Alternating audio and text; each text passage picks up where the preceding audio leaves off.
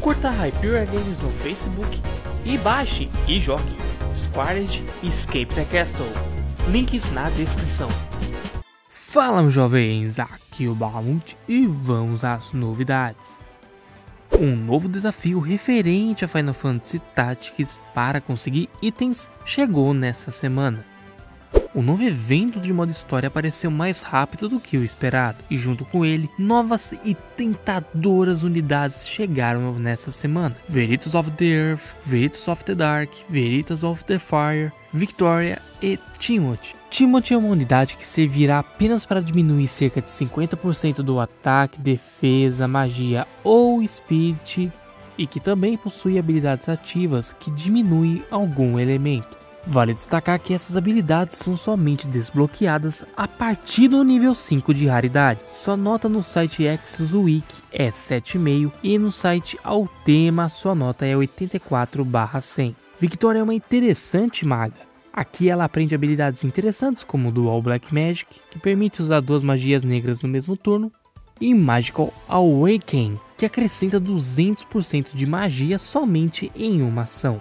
Entre as suas magias, vale destacar as suas magias com dano de escuridão e a magia Meteor. Sua nota no Exos Wiki é 12,5 e no Altema sua nota é 92/100. Veritas of the Earth é um tanque bem interessante, pois suas habilidades passivas não só influenciam na defesa dele para o grupo, mas também ele pode acrescentar resistência de 100% contra breaks de status do grupo por 3 turnos. Outra coisa que vai destacar é sua TMR, que serviria muito bem tanto para um atacante quanto para um tanque. Sua nota no Exos Wiki é 14 e no Altema sua nota é 92/100.